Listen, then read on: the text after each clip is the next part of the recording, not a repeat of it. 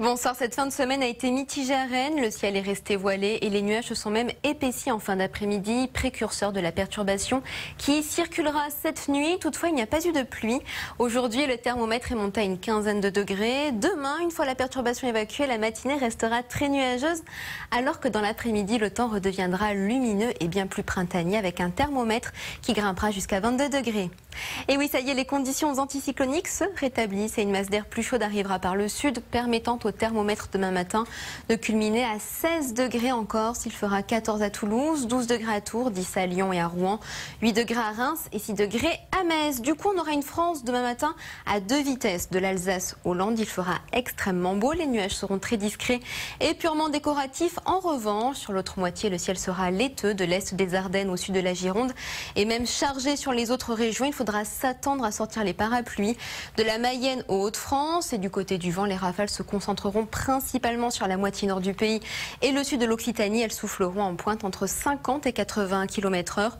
Au niveau du ciel, il sera gris autour du golfe du Lion, très laiteux de la Loire-Atlantique au Grand Est et au Doubs dans l'après-midi. La Bretagne sera encombrée tout comme le Nord-Pas-de-Calais avec de la pluie sur la frontière belge. Sinon pour tous les autres, là aussi, le soleil se montrera très généreux. Et associé à cette fameuse masse d'air chaude, les températures dépasseront les moyennes et s'envoleront à une trentaine de degrés localement sur le sud-ouest. On relèvera également 25 à Clermont-Ferrand, 23 degrés à Bourges, 21 à Mulhouse. Il fera 19 degrés à Montpellier et 15 degrés à Lille ainsi qu'à Brest.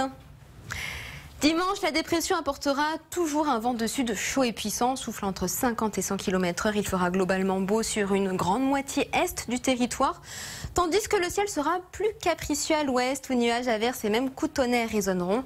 Et alors que l'ambiance sera très lourde et orageuse, les températures chuteront très brutalement lundi, repassant sous les normales de saison.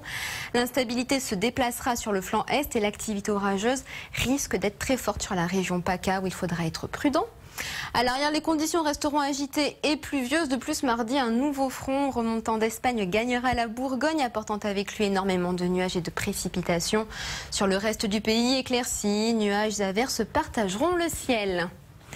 Mercredi, les conditions s'amélioreront de l'Ariège à la Moselle alors qu'une nouvelle perturbation arrivera par l'ouest. Elle laissera un temps très agité jeudi derrière elle, le ciel alternant entre nuages, éclaircies et précipitations. Et cette tendance se poursuivra vendredi. Les nuages seront encore nombreux, donnant de la pluie quant aux températures. Elles progresseront pour retrouver péniblement des niveaux de saison. Et pour bien finir la semaine, ne manquez pas la nouvelle saison inédite de Boules ce soir à partir de 21h. Très belle soirée à tous et on se retrouve demain.